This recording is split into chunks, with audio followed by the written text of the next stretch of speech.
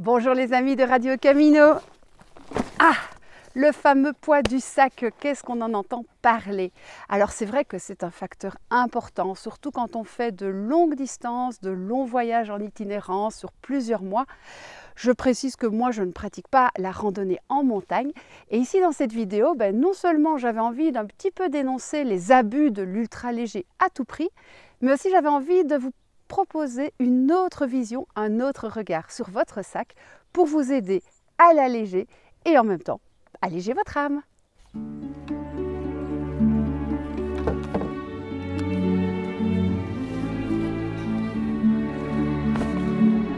L'ultra léger, c'est devenu la grande mode. Et j'avoue que même moi, j'ai succombé parfois aux sirènes, des quelques grammes en moins, qui ont surtout allégé mon portefeuille puisque, bah, je vous en ai déjà parlé dans certaines vidéos, l'ultra léger, outre le fait que les prix sont complètement déraisonnables, en particulier pour les tentes, pour les matelas, pour les sacs à dos, c'est également du matériel de faible qualité qui va s'user plus vite et qui parfois a des défauts type couinement de mon sac à dos Aujourd'hui, on pousse tellement loin la recherche de l'ultra léger qu'on en arrive à des tentes qui vont s'envoler à la moindre bourrasque, mais euh, qui vont s'envoler également dans les prix, ou des sacs à dos qui ressemblent à une espèce de besace informe et qui coûtent par contre le prix des bons vieux sacs à dos avec plein de poches qui étaient bien pratiques et que moi je regrette amèrement.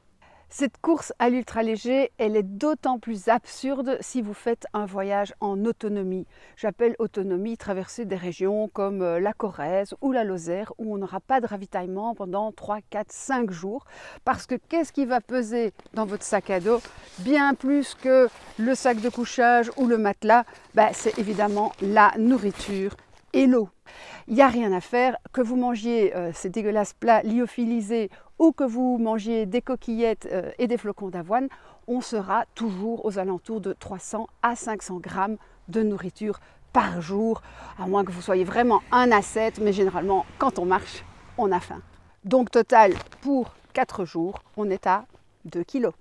Même constat pour l'eau, eh bien, difficile de faire de longues randonnées sans avoir au minimum 2 litres d'eau, en tout cas le matin. Et il m'arrive, moi, d'avoir encore une bouteille en râpe je vais aller dans un bivouac qui n'aura pas d'eau. 2 kg plus 75 euh, centilitres, bah, ça fait presque 3 kg d'eau et 2 kg de nourriture. On est déjà à 5 kg, quoi qu'on veuille.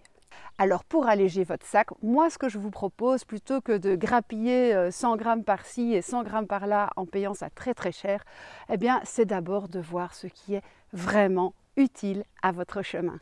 Quelques exemples très concrets, eh bien, je vois beaucoup de marcheurs qui ont une paire de sandales pour le soir au cas où. Bon, moi, je marche directement en sandales, ça m'évite la deuxième paire de sandales, mais vous pouvez très bien mettre des petits chaussons légers le soir quand vous enlevez vos bottines.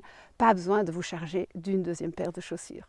D'autres exemples d'objets euh, que je trouve inutiles sur un chemin, encore une fois, dans un pays civilisé, bah, c'est la trousse de secours, c'est la serviette de bain, puisque un gant de toilette euh, et une petite loque en microfibre font parfaitement l'affaire, c'est également les panneaux solaires et tous ces gadgets qui ne servent à rien.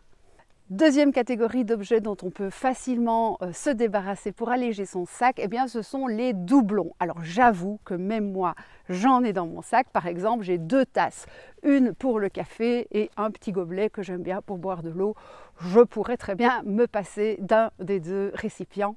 J'ai également une cape de pluie et un anorak de pluie, ce qui est complètement euh, ridicule, surtout en été, puisqu'il fait très chaud et je n'ai pas besoin de cet anorak de pluie. Et j'ai également deux matelas. J'avoue que c'est mon petit côté euh, mémé confort. J'ai le tapis de sol classique et puis j'ai un matelas gonflable. Peut-être qu'après euh, quelques mois sur le chemin, je vais pouvoir me débarrasser d'un des deux et alléger ainsi encore un peu mon sac. Et puis quand on marche comme ça pendant de longues semaines, eh on se rend compte qu'on peut vivre de plus en plus simplement. Et c'est à ça que moi j'ai envie de vous amener, c'est à cette réflexion sur ce qui est vraiment, vraiment indispensable. Un exemple, c'est l'attente je ne marche pas avec une tente en été parce qu'en été, j'en ai pas besoin, on dort à la belle étoile, mais je pourrais aussi m'en passer euh, au printemps et en automne parce qu'en fait, il suffirait de trouver systématiquement un abri et d'avoir peut-être un sursac pour protéger éventuellement mon sac de couchage de l'humidité. Deuxième objet que je croyais indispensable, c'est le réchaud. Eh bien, je suis restée pendant une semaine sans bonbonne de gaz. Résultat, bah, j'ai commencé à essayer le taboulé sous toutes ses formes, euh, ratatouille, euh, lentilles, euh, tomates, tout ce que vous voulez. En fait, c'est très bon. Et puis un soir, j'étais distraite, j'ai acheté une boîte de raviolis et, puis j'ai oublié que je ne pouvais pas la chauffer. Donc, qu'est-ce que j'ai fait? Bah, J'ai mangé mes raviolis froids. En fait, c'est très bon aussi. Et quand on a vraiment faim, vous savez, tout passe, même les lentilles et les raviolis froids. Oui, mais vous avez envie de votre café le matin? Eh bien, j'ai trouvé un système qui est pas mal du tout. Ça s'appelle le shaker. Je mets du café ou du cappuccino, c'est pas très bon pour la santé, mais c'est très bon, dans un peu d'eau. Je secoue et ça me fait un café frappé délicieux, tout aussi bien en froid.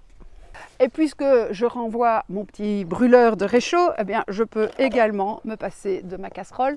Je peux aussi cuisiner mes salades dans une assiette ou euh, au pire euh, manger mes raviolis à même la boîte.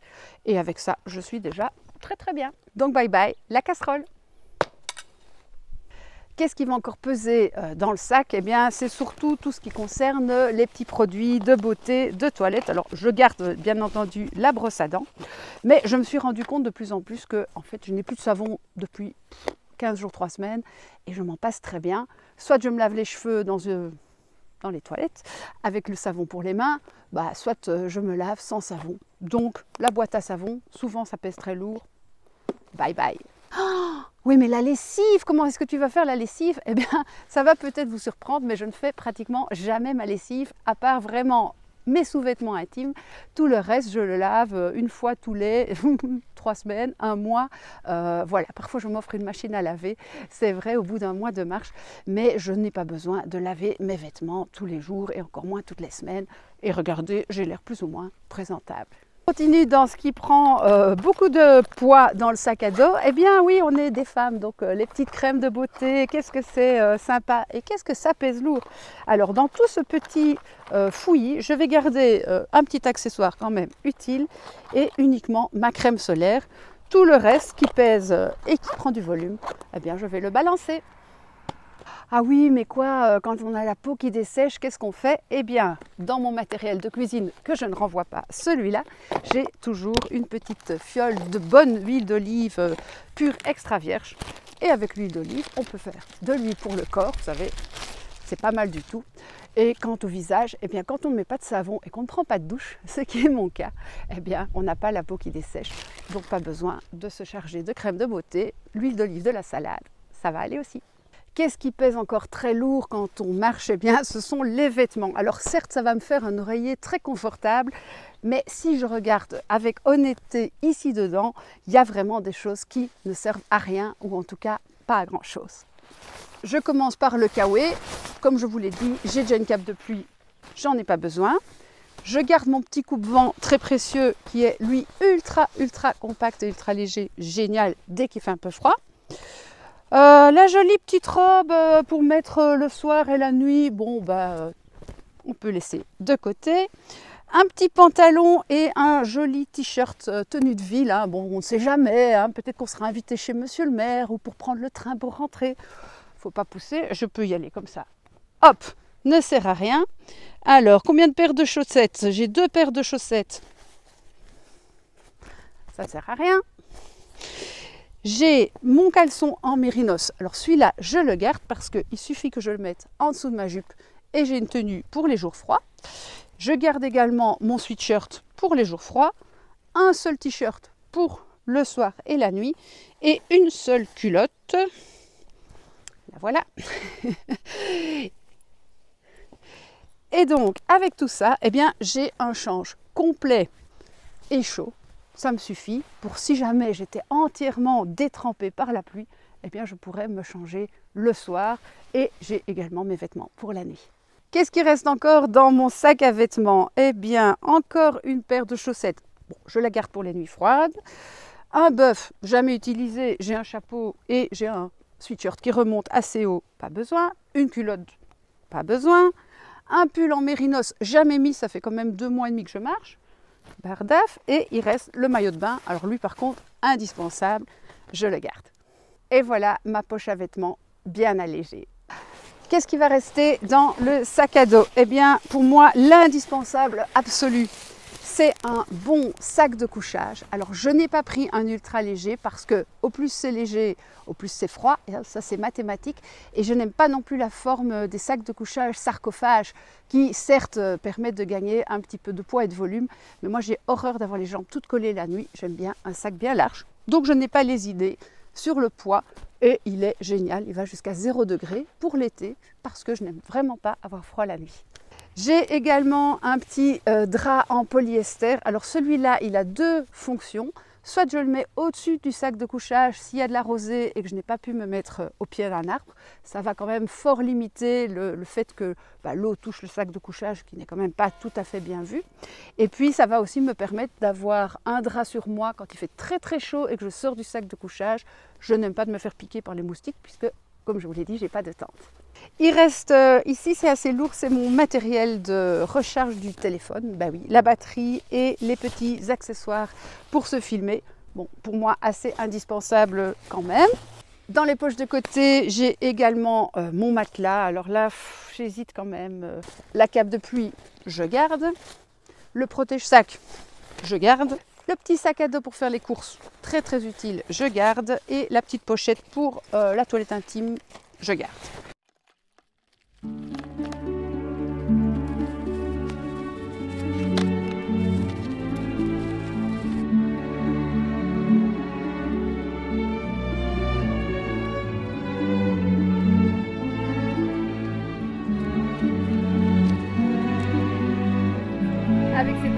d'amaigrissement, là mon sac a vraiment perdu du poids. Ça m'a pas coûté un franc.